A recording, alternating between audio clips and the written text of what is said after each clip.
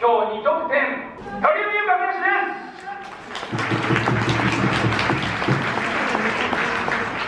2得点ちょっと振り返っていただきたいんですけどもその目で訴えかけないでゴール気持ちよか？ったですかえっと10人ぐらいで面白かったです。ウィスパーボイスなん。ですすいませ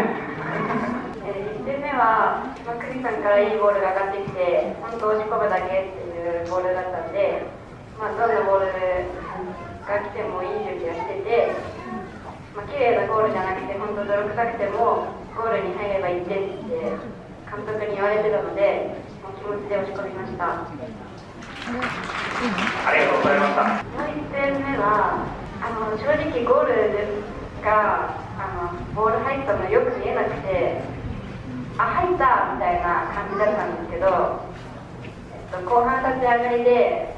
1点もう1点必要って時にいい時間帯に取れてチームを救えてよかったかなってほっとしてます。ありがとうございます。じゃあ最後にサポーターの皆様に一言大きな声でお願いします。えー今日は熱い声援ありがとうございました、えーなかなか勝利を届けることができなくて本当に申し訳ない気持ちでいっぱいだったんですけど今日771名という多くの方々にこの試合を見ていただいて、えー正直ほっとしてます。ただこの勝利で終わることのないようにまた次もチームで頑張っていきたいと思いますのでこのピッチ